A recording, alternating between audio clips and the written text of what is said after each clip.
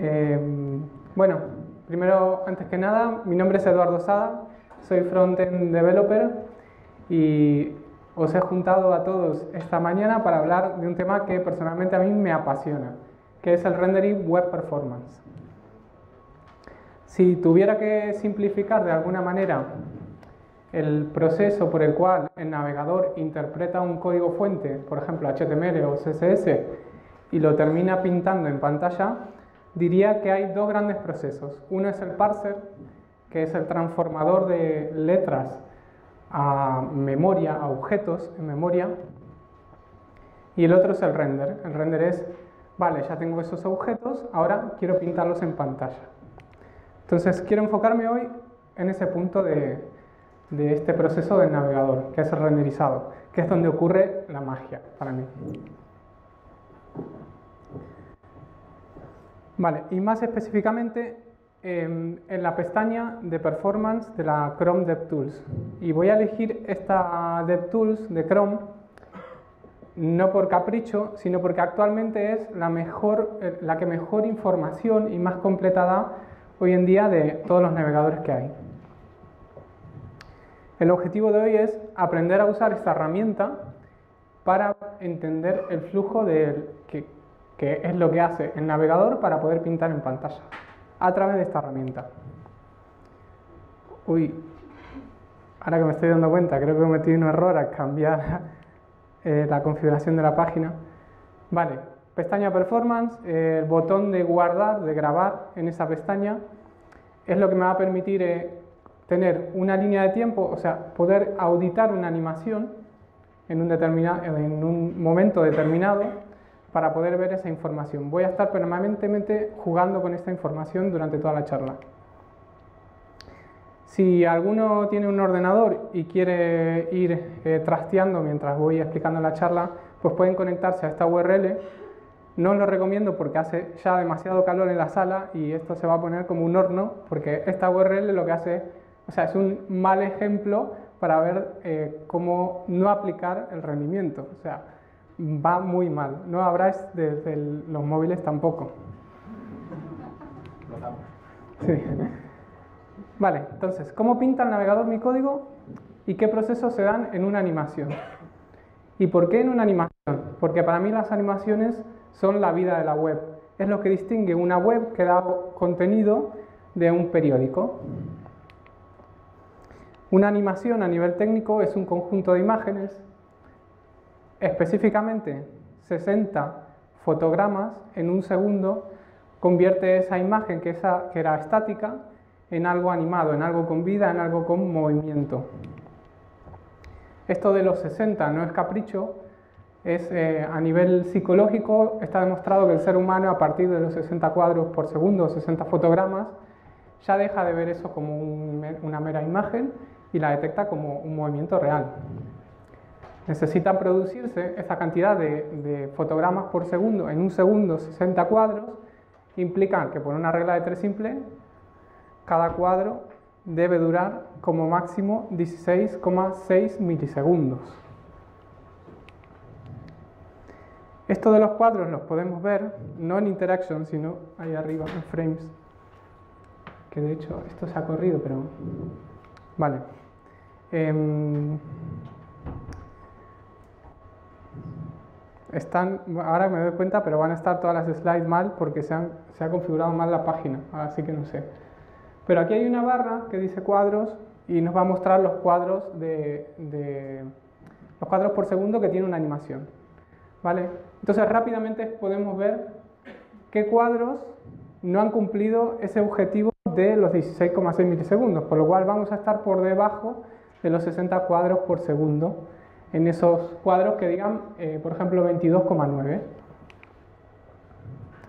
Y además va a haber una parte en donde haya colores, ¿sí? esta es la parte, que van a ser los procesos de pintado que va a ejecutar el navegador en esos cuadros específicamente. Vale, entonces, así se va a ver mi línea de tiempo, un conjunto de cuadros cada 16 milisegundos y en cada cuadro van a, van a ocurrir cosas. cosas que el navegador las va a mostrar con colores. Esto es un ejemplo de cómo iría una animación en mi ordenador. ¿Vale? Tengo un MacBook Pro 2017, eh, el mejor MacBook Pro del mercado hasta hace muy poquito porque tiene la tecla escape. ¿Vale? Y en mi ordenador va todo súper bien. O sea, es capaz de ejecutar código en 16,6 milisegundos. Pero quizá en otros dispositivos este objetivo se torna un poco difícil, si no imposible, de conseguir. Pero no pasa nada, o sea, esto es normal, porque 16 milisegundos es muy poco tiempo para ejecutar nada.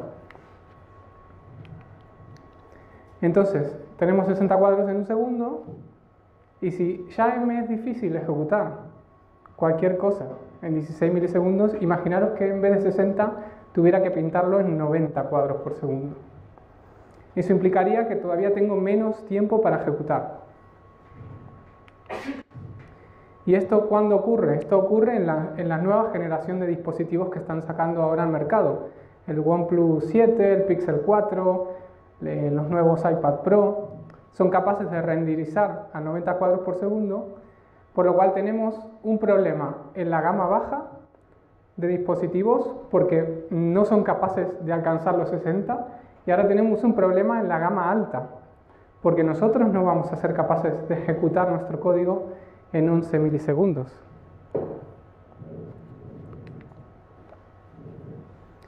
Vale. Si pudiéramos hacer zoom con un microscopio en lo que ocurre en cada cuadro, veríamos una línea, una serie de colores muy parecidos a estos. Cada color implica una ejecución, un proceso interno del navegador que el objetivo de la charla es descubrir qué es lo que hace en cada proceso. Vale, em, lo primero es tener una interacción o una animación. En esa interacción, en este caso, en este específico caso, mi interacción va a ser a través de un dispositivo, por ejemplo el ratón o el dedo, ¿vale? Entonces el navegador inmediatamente cuando detecta que, va a haber una interacción, tiene que comprobar en dónde y cuál va a ser la interacción antes de que casi esta suceda. A esto le va a llamar el hit test. El hit test va a identificar la interacción y a qué nodo le pertenece esa ejecución. En dispositivos táctiles, por ejemplo, cuando yo bajo el dedo sobre la pantalla, el navegador rápidamente tiene que identificar, vale, va a ser un scroll, va a mover el dedo hacia arriba, lo va a levantar, o sea, va a ser un clic o va a ser un doble tap.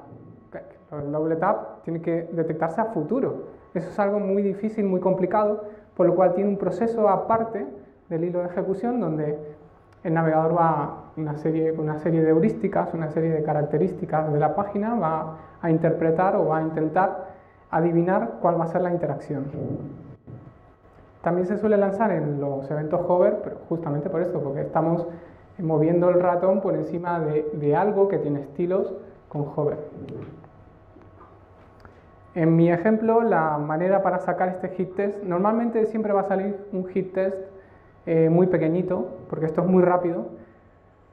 Yo logré sacar eh, algo un poco más grande poniendo un montón de elementos en un mismo lugar y poniendo el ratón por encima. Entonces el navegador le va a costar más identificar cuál de todos esos elementos que están en, un muy poquito espacio, a cuál de todos les corresponde el hover.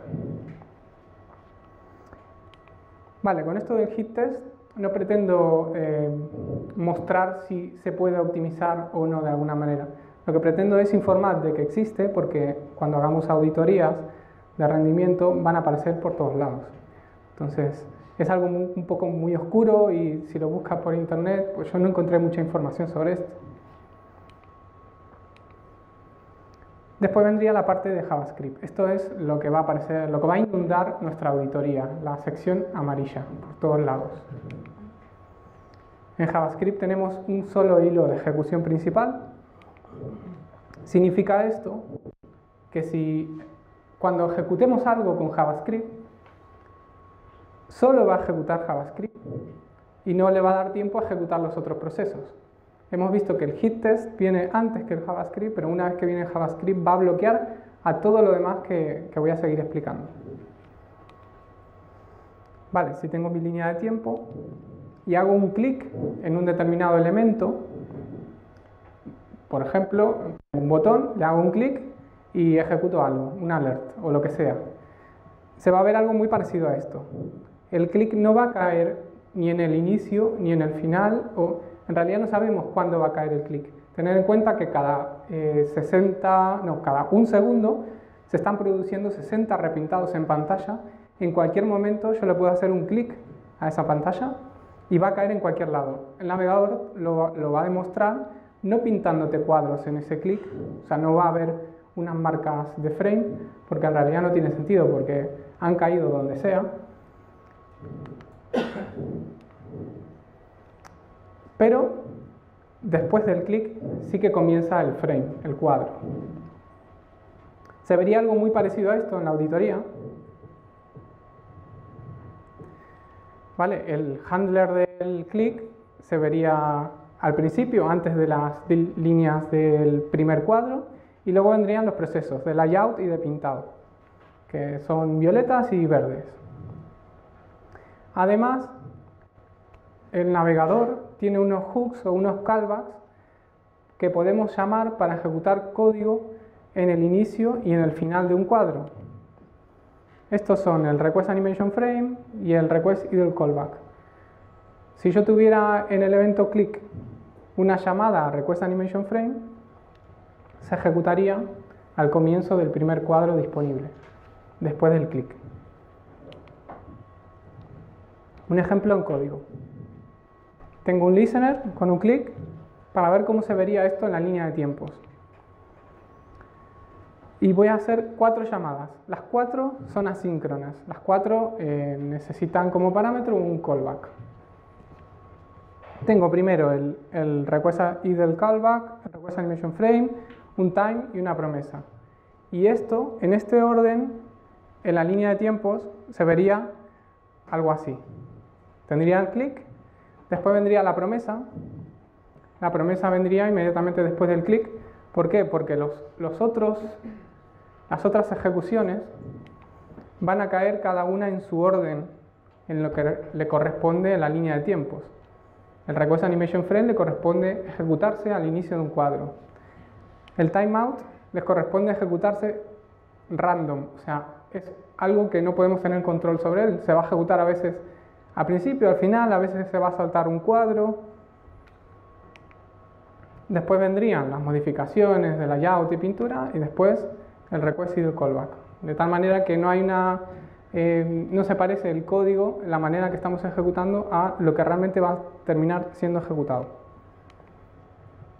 Cuidado con los timeouts, entonces, porque dado a que su ejecución puede corresponderse en cualquier lugar de un cuadro nos va a traer problemas de rendimiento si en ese timeout tenemos modificaciones de layout o de pintado. El navegador, para ejecutar todo de manera fluida y alcanzar los 60 cuadros por segundo, necesita ejecutar las cosas en este orden, en el orden de primero JavaScript, después el inicio de un cuadro, layout, pintura, final. Si tenemos algo en el medio que modifique ese orden, ahí es cuando vamos a tener los primeros problemas de rendimiento.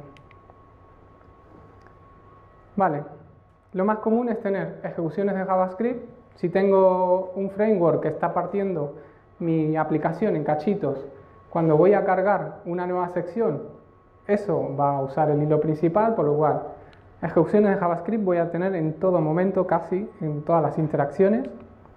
¿Y qué pasa si el usuario decide hacer clic en algo que vio interesante en ese momento, en el momento en el que estoy bloqueando el hilo principal con JavaScript. Lo que va a pasar es que el navegador no le va a responder, no puede responderle, él está ocupado ejecutando JavaScript. Por lo cual va a retrasar esa ejecución en el tiempo hasta el final. A esto le llamamos el input delay. Para el navegador, si esa respuesta del usuario no ha ocurrido en 50 milisegundos, el navegador dice que eso es algo bloqueante. De hecho, nos lo va a mostrar. nos lo va a mostrar como un warning, va a poner como un sombrerito rojo, nos va a decir, eh, tu handler ha tardado más de 50 milisegundos. Fijaros la vara que pone el navegador, 50 milisegundos. Normalmente en la vida real, al hacer un clic tarda más de un segundo en responder la página. A mí me ha pasado por lo menos. Nos lo, va a marcar, porque ahí hay un problema, un problema de rendimiento. Es algo que tenemos que tener en cuenta.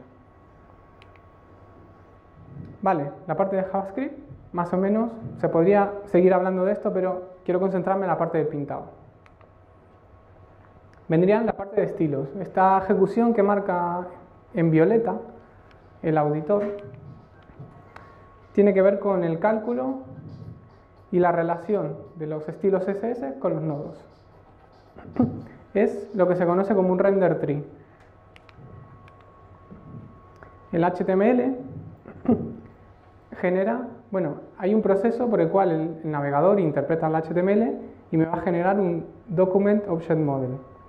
Luego hay otro proceso en el cual el navegador va a interpretar el CSS y me va a generar un CSS Object Model. La unión de esos dos modelos genera un render tree. Un render tree es como eh, un, un mapa que el navegador va a tener sobre cómo se ve la web y qué elementos tiene. En este proceso de estilos es justamente cuando ocurre ese render tree. Si agregamos una clase a un elemento, ese render tree cambia porque ha cambiado un elemento, por lo cual hay que volver a calcular cómo se ve la web. En una animación también están cambiando elementos. Están cambiando elementos al inicio, en mitad de la animación y al final. Por lo cual es normal que en una animación aparezcan muchos styles. Van a aparecer style porque estás cambiando el render tree. Esto no es algo tampoco a, a ver, no es algo eh, que nos tenga que ocupar mucho tiempo en, arreglar, porque es un proceso normal, ¿vale? Vale, la primera línea de código aquí lo que va a hacer es cambiar el estilo de un elemento. Como cambia el estilo, pues hay que generar un render tree nuevo. Y la segunda línea, la segunda y la tercera, lo que va a hacer es detener el hilo de ejecución principal, solamente mm, por molestar, ¿vale? Un segundo parado el hilo para ver lo que haría el navegador en la línea de tiempo. Pues tendría primero mi hilo parado, ¿vale? No habría nada que podamos hacer ahí y luego vendría el style. Los styles se computan al final de JavaScript por más que en el orden que hayamos puesto el código esté al revés. Aunque en realidad la línea de tiempo sí que me va a marcar el orden, pero me lo va a marcar muy sutilmente, con una rayita muy, muy finita, casi imperceptible si no, si no le das ahí con el ratón y la, la descubres de casualidad, que va a decir, aquí se ha producido un cambio de estilo, pero lo tengo que meter al final del cuadro. Bueno, al final de cuadro no, sino después de JavaScript. Vale, tengo la parte de estilos que he generado el render tree. Ahora hay que calcular la geometría de los elementos. Esto es cuando ocurre el proceso de layout. El layout es el, cálculo de la geometría y genera un layout tree. Al final son como todos árboles en la web. El layout tree es un mapa del navegador en donde van a aparecer las posiciones de los elementos, los tamaños y cómo eh, impactan unos con otros, cómo colisionan de alguna manera. ¿Por qué? Porque si tenemos un float, pues ese float depende de el contenido que está al lado, si tenemos un grid va a depender de las columnas o, o el contenido que tengamos. Ya podéis ver que aquí, en este proceso, este proceso sí que es costoso ejecutar. La parte de layout es normalmente en donde eh, nosotros como developers podemos, meter mano para intentar mejorar. Si tenemos un ejemplo, ¿no? una web común, un grid o lo que sea, y a uno de esos elementos le cambiamos el tamaño, cuando le cambiemos el tamaño, va a producir o va a afectar a los elementos que están al lado. Y el navegador va a decir, bueno, aquí hay que generar un layout tree de nuevo, por lo cual todos los elementos van a estar involucrados. O sea, hay que calcular todo de, nuevo por un solo cambio de geometría. Esta geometría puede ser eh, la posición, el tamaño, el padding, el borde. O sea que esto aquí hay un problema gordo. En realidad no va a cambiar toda la web, ¿vale? Sino que hay, los navegadores ya tienen heurísticas para intentar detectar qué elementos han sido afectados y solo va a intentarlo, por lo menos, cambiar aquellos que, que estén involucrados en los cambios. Vale, si algún tamaño o posición cambia, los layout tree que, que esté generado el último, pues va a ser invalidado. ¿Por qué? Porque esa información ya no me sirve, tengo que generar un layout tree nuevo. Esto en código se vería algo así. Es un ejemplo, no tiene mucho sentido, pero solamente para marcar el punto. En, el primer, en la primera línea de código voy a cambiar la geometría de un elemento. Por lo cual, el layout queda invalidado. ¿Necesito generar un layout nuevo en este punto? En realidad no, todavía no. Yo solo sé que la, información que tenía antes ya no me sirve, pero no necesito todavía generarla. En la segunda línea, sin embargo, sí que necesito esa información.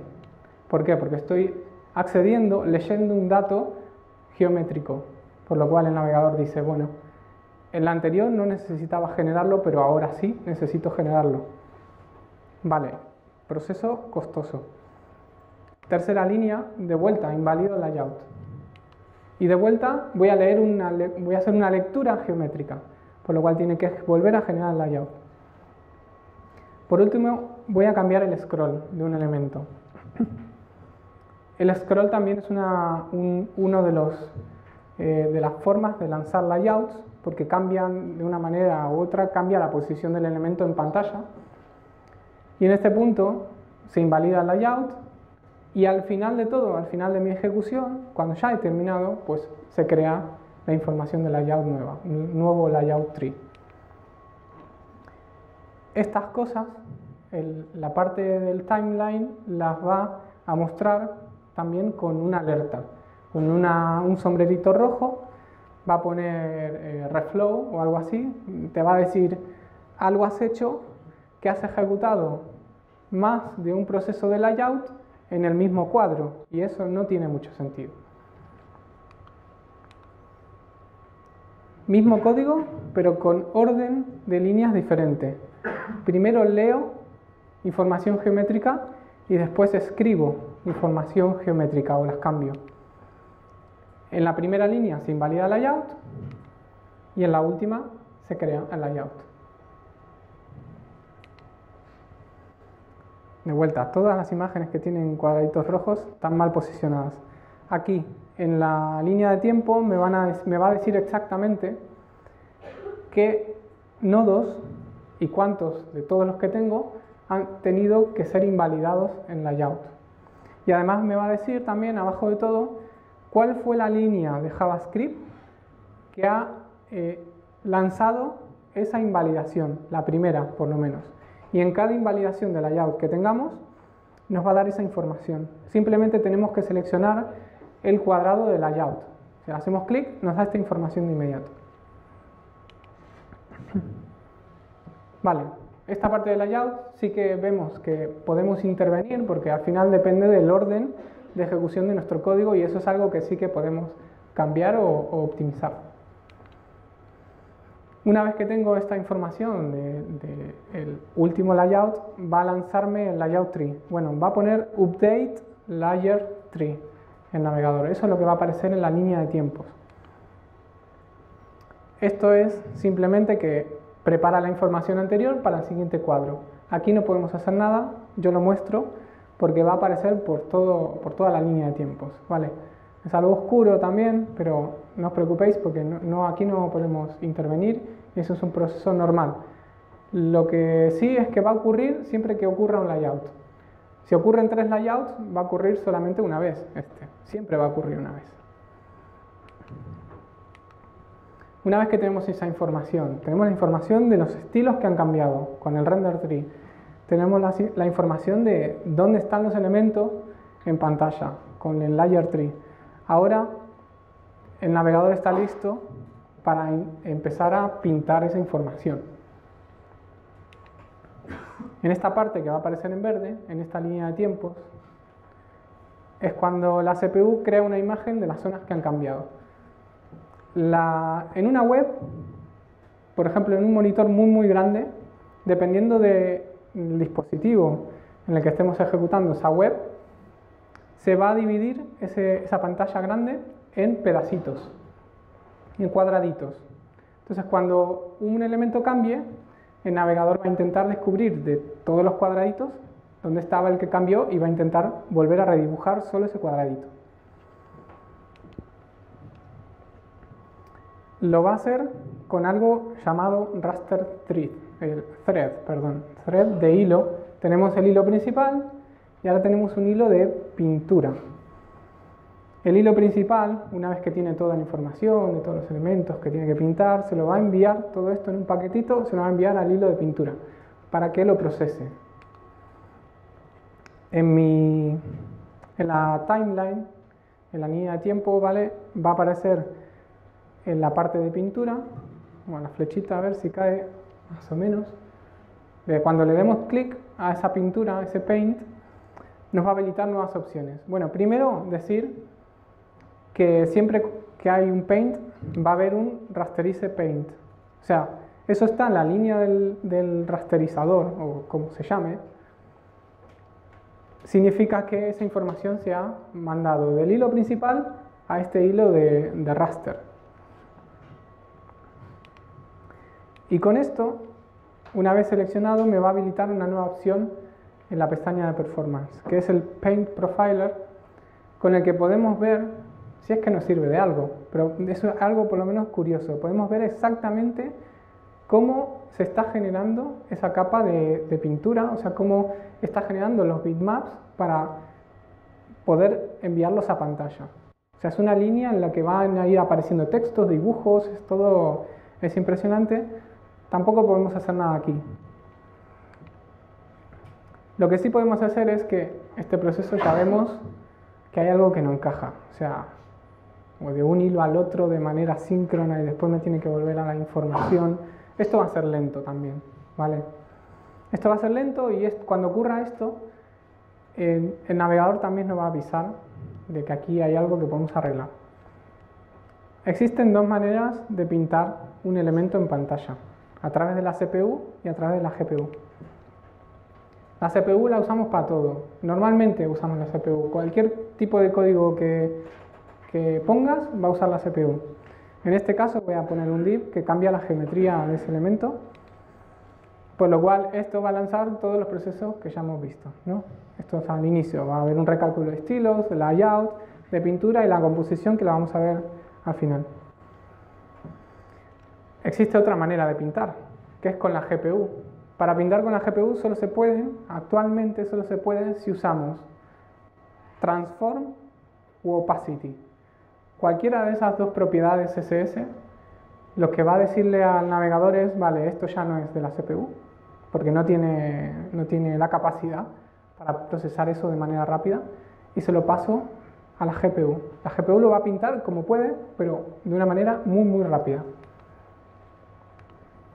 Como aquí no hay cambios de geometría, aunque el elemento se va a mover, pero no hay cambios de geometría para la CPU, no va a lanzar ni layout y no hace falta pintarlo tampoco. La pintura era el proceso en el que se convertía ese layout en un bitmap. Pero este bitmap ya no hace falta generarlo porque ya la tiene la GPU. Por eso vemos que usar transform y opacity en las animaciones va más rápido que usar elementos que no están pintados por la CPU. Pero ahora vemos el por qué. Ahora vemos la, la cuestión interna de que eso, por el que eso sucede. Entonces el truco es que cuando tengamos que animar algo, usemos la creatividad para animar o convertir eso que antes usaba la CPU en una animación de la GPU. Si aquí tenemos que animar el box shadow, podemos animarlo, ponemos animate box shadow o transition box shadow y lo que sea. Eso va a lanzar la CPU, va a lanzar todos los procesos que vimos anteriormente. O podemos crear dos capas, una que siempre tenga la, el, el shadow siempre, pero que podamos animar el opacity. El efecto visualmente va a ser el mismo. El proceso que el navegador tiene que hacer para uno y para otro no es el mismo.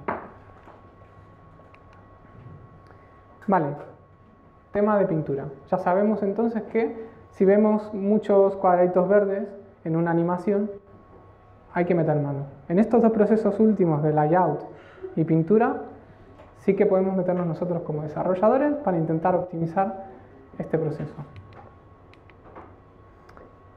Y llega el turno de la composición. La composición ya es el, final del cuadro. La composición nunca, o sea, no es necesario que se produzca, va a ser opcional, igual que con los demás, eh, con los demás procesos. Es algo que solo se va a producir si se necesitan crear capas en tres dimensiones.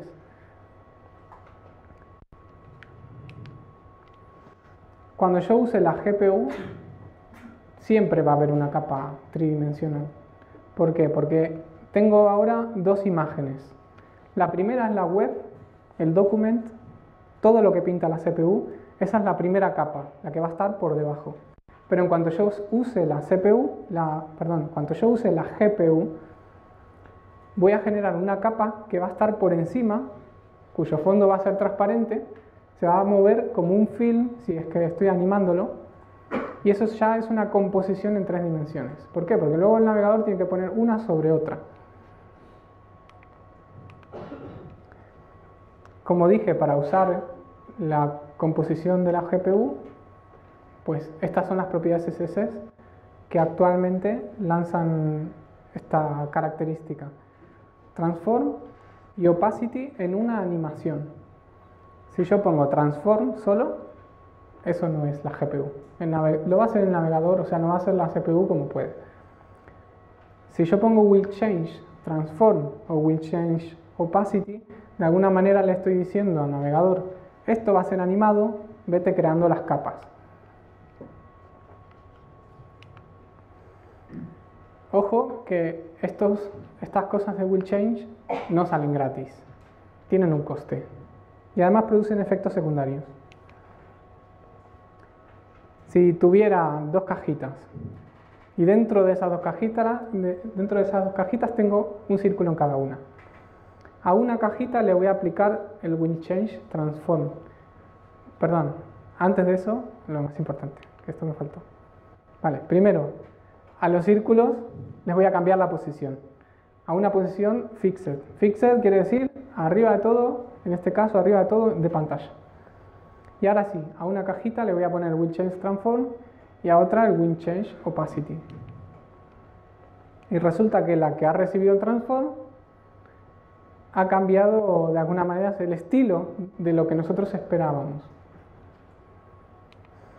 Y esto es porque el transform crea un containing block y las propiedades de posiciones son relativas siempre a ese containing block. Este es el efecto secundario que produce el Will Change Transform. El Will Change Opacity tampoco se salva de tener efectos secundarios. Si tuviéramos mm, las dos cajitas, ¿no? y dentro de esas cajitas tengo eh, elementos que están uno sobre el otro, de alguna manera. El cuadrado rosa está, es el primero y está por detrás que el cuadrado violeta. Cuando yo le aplique al cuadrado rosa Will Change Opacity, va a cambiar su stacking context. Es como un z-index que tiene el navegador. Esto es normal, ¿por qué? Porque si pongo will change opacity a una capa, a un elemento, lo tengo que promover. Tengo que mandarlo a la GPU y la GPU tiene una capa por encima del documento. Es fácil de arreglar, simplemente le digo al otro elemento z-index 1 o lo que sea. Pero ya veis que esto, esto no me gusta, ¿vale? Podéis usar cualquiera de los dos para poder promover capas, pero tenéis que tener en cuenta este tipo de efectos secundarios. La composición implícita se produce cuando se crean capas en tiempo real. En una animación podemos lanzar composiciones implícitas. Si tengo un cuadradito que se mueve con, la capita, con una cajita rosa, ¿vale? A la izquierda podéis ver la cantidad de capas y cuáles son las capas que se van creando. Y vemos que al inicio de la animación y durante el transcurso se crea una capa en tiempo real, pero cuando termina la animación se destruye. Entonces, esta creación y destrucción de capas es también algo costoso. Esto lo podemos ver en la pestaña de Layers. Hay una pestaña que está muy, muy oculta, si no la habéis eh, abierto nunca. seguro que la encontráis. Eh, una vez activado podemos ver las capas reales que están siendo pintadas por la GPU. Vale, mismo ejemplo, pero ahora la cajita rosa está detrás del elemento. Antes estaba por encima. Ahora, por culpa de que esté por detrás, no solo hay que promocionar a la capa rosa, también hay que promocionar a la capa celeste. Aunque mm, de ninguna manera la capa celeste se anima. Esta composición es justamente porque la capa rosa tiene que estar por encima pero el navegador dice, vale, pero eso va a afectar el stacking context, aquí hay algo que no me, no me cuadra, por lo cual promueve las dos. A la izquierda podemos ver esa promoción, entonces esto en este ejemplo es algo muy básico, algo muy sencillo, no pasa nada, lo normal es que tengamos, en vez de esa cajita celeste sin contenido, pues que tengamos, no sé, un modal, por ejemplo, con un montón de cosas en nuestra página web y que haya composiciones y intersecciones de elementos que se están animando, ¿vale? Entonces esto sí que, esto sí que es peligroso y puede afectar bastante el rendimiento. En lo posible vamos a intentar detectar estas creaciones en tiempo real antes de que sucedan. Vale, la cajita rosa implica, cuando seleccionamos una capa, nos va a decir eh, por qué esa capa es una capa sea, cuáles fueron las razones para el navegador para promoverla. En este caso dice, bueno, eh, este elemento tiene, esta es la cajita rosa, ¿vale? Este elemento tiene un will, eh, will change opacity, por lo cual fue promovido. Y la siguiente, que sería el wrapper, me dice esta capa se ha creado porque eh, es una capa secundaria. Además, si habilitamos en el transcurso de nuestra auditoría la sección de pintura avanzada y luego seleccionamos, hacemos clic en un cuadro, en, la parte de arriba del cuadro, nos va a habilitar una nueva, nueva sección de layers. De vuelta, allá. Que va a ser las capas que en ese punto de la animación, en ese cuadro, han sido creadas. Entonces podemos ver cómo en una animación todas las capas que han sido creadas y destruidas en el medio. Esto hay que evitarlo, ¿vale? Evitar la composición implícita y buscar las capas marcadas como secundarias. Si tenemos capas que se crean y se destruyen, pues probablemente creémosla nosotros con will change y dejémoslas creadas para, que, para ahorrarnos ese coste de, construcción y destrucción. Vale. Entonces llegamos al final, la composición. Hemos visto muchísimas cosas ya, por lo menos de, de, esta línea de tiempo, ¿no? De performance, y las que nos quedan. Y lamentablemente me acaba de decir ya que tengo poco tiempo. Por lo cual, ¿qué sigue? ¿Qué sigue a partir de ahora? Si os interesa este tema, yo recomiendo leer eh, Web Fundamentals de Chrome. Aquí hay muchísima información eh, de Google. Ellos continuamente están cambiando cosas, es verdad, están cambiando cosas, pero todo eso lo documentan, lo van sacando en, newsletters, ¿vale? Entonces aquí hay, para hablar de la parte de JavaScript, todavía un montón. Yo solo he pasado de puntillas porque quería centrarme en los últimos procesos. Así que os agradezco a todos y bueno, seguidme en Twitter si queréis saber más sobre performance y muchas gracias.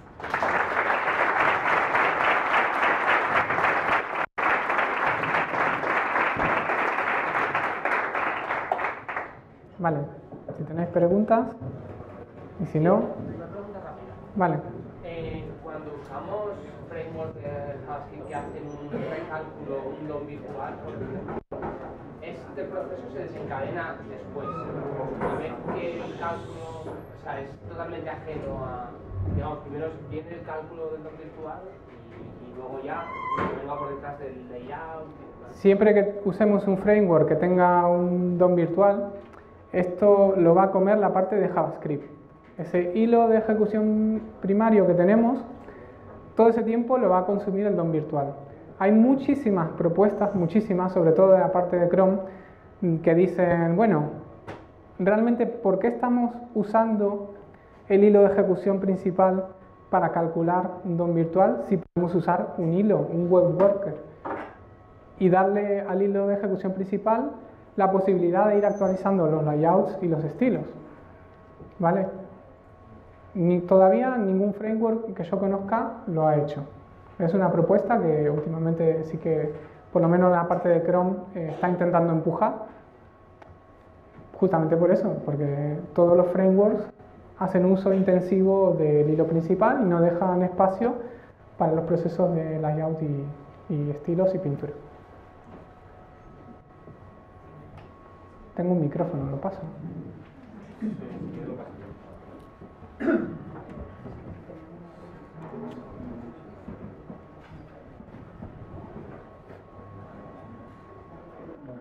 Comentabas que era deseable evitar la composición implícita porque tenía un coste de construcción y destrucción de la capa. Y, pero estoy imaginando que hay casos donde creo que me ha sido útil porque eh, como el momento de que comienza una interacción, hay, normalmente se recomienda que hay un espacio de 100 milisegundos hasta que la animación comienza, es un tiempo útil para poder hacer esa construcción de la capa. Y por otro lado, me he encontrado problemas cuando uno tiene excesivo número de capas. Entonces, si las capas están construidas todo el rato, puedes acabar con demasiadas capas y es preferible en esos casos, me he visto, no sé cómo lo ves tú, si has tenido casos similares. Sí, sí, todo, todo tiene un coste. Construir y destruir eh, cuando comienza una animación que tenerla construida de antemano. Sí, o sea, todo tiene un coste y la regla número uno del rendimiento es lo primero que hay que hacer si queremos mejorar algo es medir. Tú mides y luego tocas. Y luego, si eso que has tocado te produce una medición mejor, perfecto, pero probablemente no. O sea, no necesariamente puede...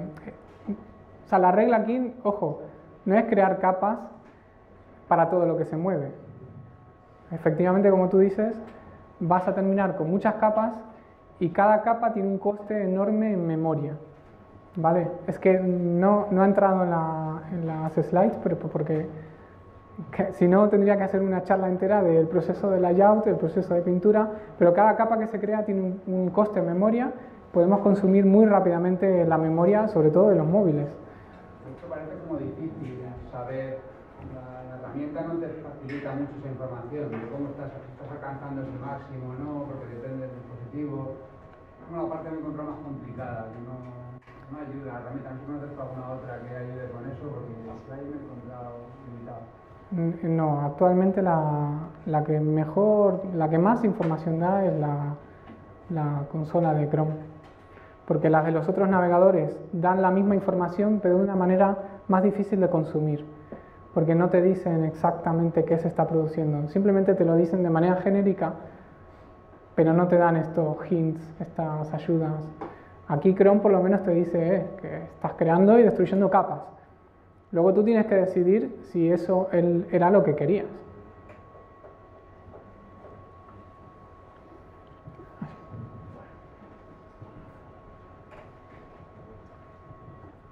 Eh, mi pregunta iba dirigida porque se supone que para eh, conseguir más rendimiento, para no penalizar el rendimiento, eh, habría que intentar que las únicas animaciones fueran sobre opacity o sobre transform.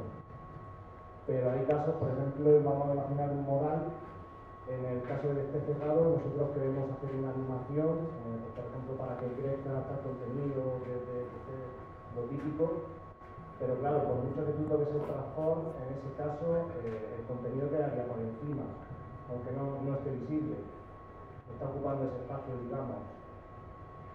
Eh, normalmente yo lo que hago para conseguir solucionar esto es aplicar soluciones como meterte un CKINDER más bajo y luego cuando está activo cambiar de... Perdón, un... Eh, creo que era... Eh, que no se puede tocar, vamos, que, no reacciona, con ¿Hay alguna técnica mejor o alguna cosa así?